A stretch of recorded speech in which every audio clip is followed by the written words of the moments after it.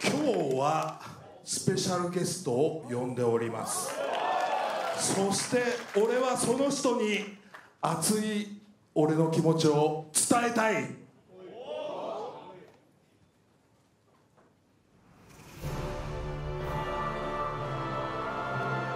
熱い気持ち伝えたい。そして荘厳な雰囲気。祈るアシスタントディレクター。ちょっといつもより首相ですね。そうですね。どうなる？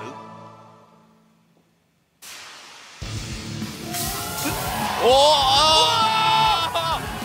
マジかジュリアまさかまさか昨日までスターダムの所属選手。なんと井上さんまたまた魔法が特大です。白井どころの話じゃないですねこれは。なんとジュリアだ。目撃者はあなたです。いやいや。今日からフリーですからね。ってことですよね。噂されてたいろんな行き先よりもこのノアマンデーマジックに。ね。投下されましたね。お騒がせ。ジュリアだぞジュリアンが来た。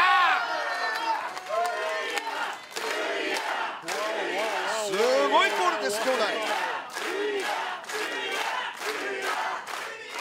マンデーマジックにお越しの諸君ごきげんよう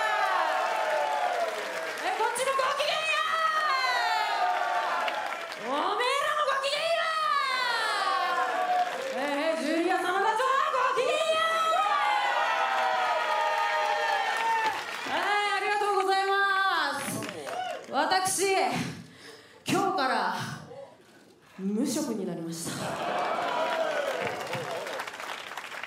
ということはまあプロレス界これから面白くなるんじゃないんですかね。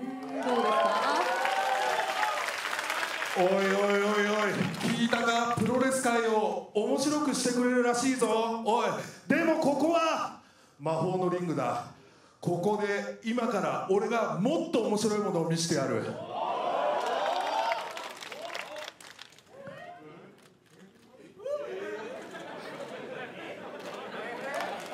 え？指輪？ですよね。何を示すこれ？嘘。まさか。あ？熱い気持ちとは？えこれ？個人的な気持ちですか？ちょっと。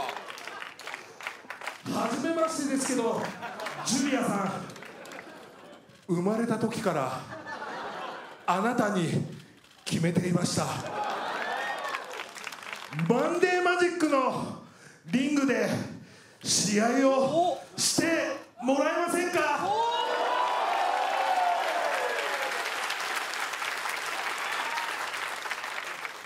ごめんなさおいいくらしたと思ってんだこの指輪。いごめん。ごめん。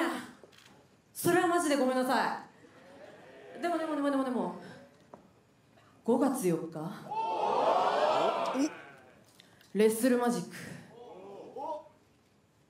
ジュリア出ます。おいおい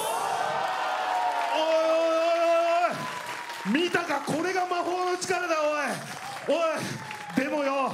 ちょっと。俺的には複雑な気持ちだけど新宿盛り上がってるか？じゃあ今夜もマンデーマジックスタートだ！プロレス動画配信サービスレッスルユニバース。DDT プロレスリング。プロレスリングノア東京女子プロレスに加え頑張れプロレス。一読プロレス。リアルゼロワン。